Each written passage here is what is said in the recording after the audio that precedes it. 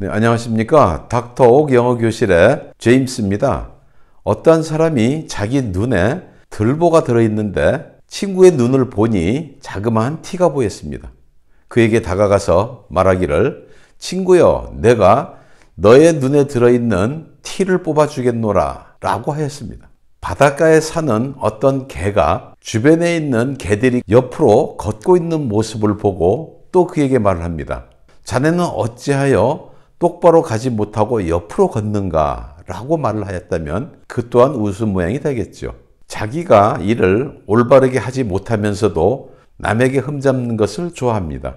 우리 한국에서는 내로남불이라고도 하고 속담으로는 똥 묻은 개가 겨 묻은 개를 나무란다 라고도 하지요. 영어는 이를 솥과 주전자에 비유해서 말을 합니다. 솥이 검습니까? 주전자가 검습니까?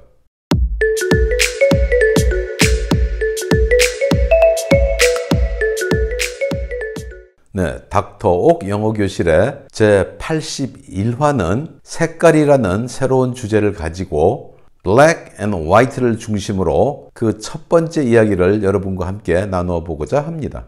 아직 구독자가 아니신 분들은 빨간색 구독 신청 버튼 꼭 눌러 주시고요. 아울러 엄지손가락 좋아요와 응원의 댓글도 함께 달아주시면 대단히 감사하겠습니다.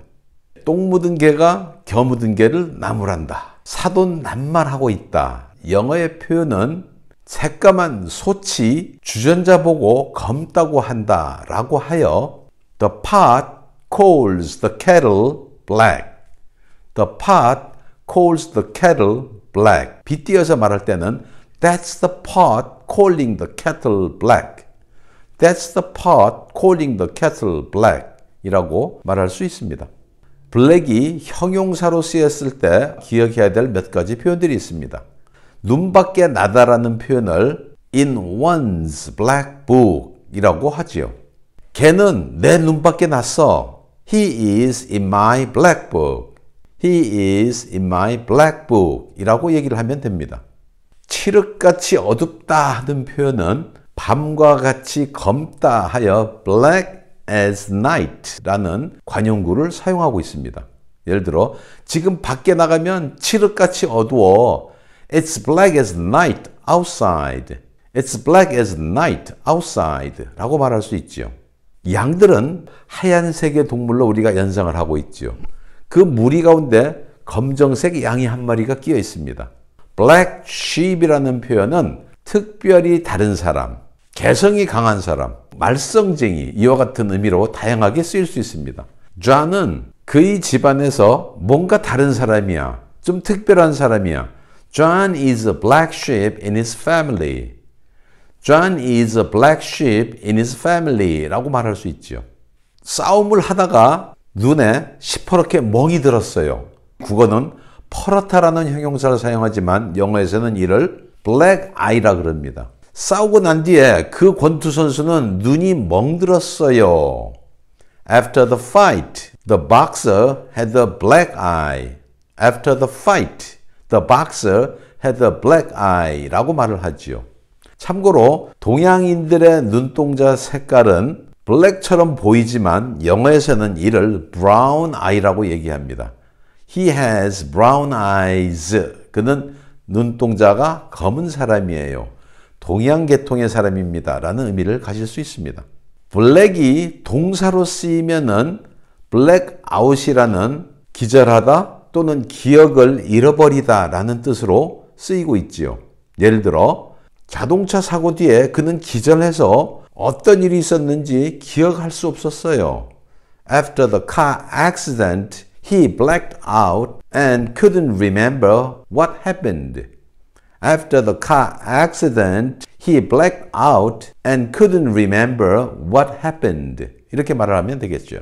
어떤 중요한 약속을 할 때는 서면으로 기록을 남기는 게 좋지요. 저는 이 계약을 서면으로 남기기 원합니다. I want this contract in black and white. I want this contract in black and white 라고 하지요. black은 잉크를 의미하고요. white는 종이를 뜻합니다. 종이 위에 잉크로 쓴 것. writing이라는 의미가 되죠. 그래서 I want this contract in writing과 동일한 의미를 갖게 되는 것입니다. 어떤 문제가 발생했는데 이것은 옳고 또 이것은 그르다라고 분명하게 선을 긋기 어려운 일들이 있습니다. 흑백 논리로 다룰 수 없는 거야.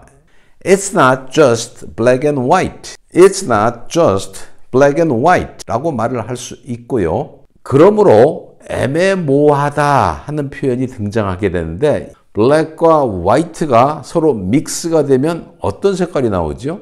회색입니다. gray가 나오죠. 그래서 이것은 좀 애매모호한 부분이 있어요. We are in a gray area.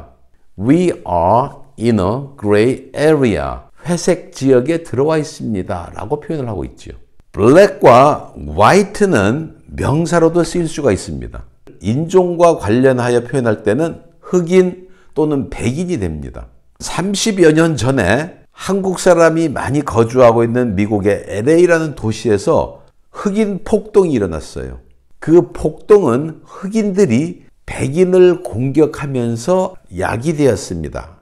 이 문장을 The riot was caused by blacks attacking whites. The riot was caused by blacks attacking whites. blacks and whites는 흑인들과 백인들이란 의미를 갖게 되는 것이죠.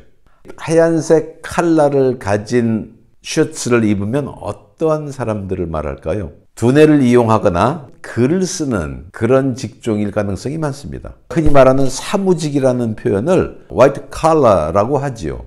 예를 들어 그 사람은 사무직입니다. He has a white collar job.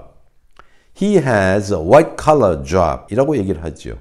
육체 노동을 많이 하는 경우는 뭐라고 표현할까요? 먼지나 다른 때가 묻어도 별로 표시가 안 나는 색깔이 blue입니다. 그래서 blue collar job은 노동직입니다 하는 의미를 갖게 되지요. 예를 들어 이 도시에는 육체 노동을 하는 분들이 많이 있습니다. There are many blue collar workers in this town. There are many blue collar workers in this town. 이렇게 말하면 되지요. 얼굴이 백지장이 되었다. 창백해졌다. 종이만큼이나 하얘지다. 유령만큼 하얗다라는 표현을 사용합니다. 예를 들어 그 여자가 강도를 만났을 때 얼굴이 백지창처럼 하얘졌어요. When she saw the robber, she turned as white as a sheet. 또는 sheet를 ghost로 바꿔서 When she saw the robber, she turned as white as a ghost 라고 말할 수 있지요. 미국 대통령이 진무를 보는 곳을 백악관이라고 하죠. 백악관은 영어로 White House라고 표현하고 있지요. 미국 대통령은 백악관에서 살고 있습니다. The US President lives in the White House. The US President lives in the White House 라고 얘기를 하지요. 발음상 한 가지 유의할 게 있다면 백악관은 white라는 형용사를 강세를 두고 발음을 해야 됩니다. White House라고 해야 되죠. White House라고 발음하면 하얀 집이란 뜻으로 바뀌게 되는 것이죠. 성경에서는 정결하고 깨끗한 모습을 눈과 같이 하얗다라고 말을 하고 있습니다. 이스라엘 역사의 가장 훌륭한 대왕은 다윗이라고 말을 하고 있습니다. 그렇게 훌륭한 다윗도 여인에게 정욕을 품고 큰 죄를 범하게 되지요.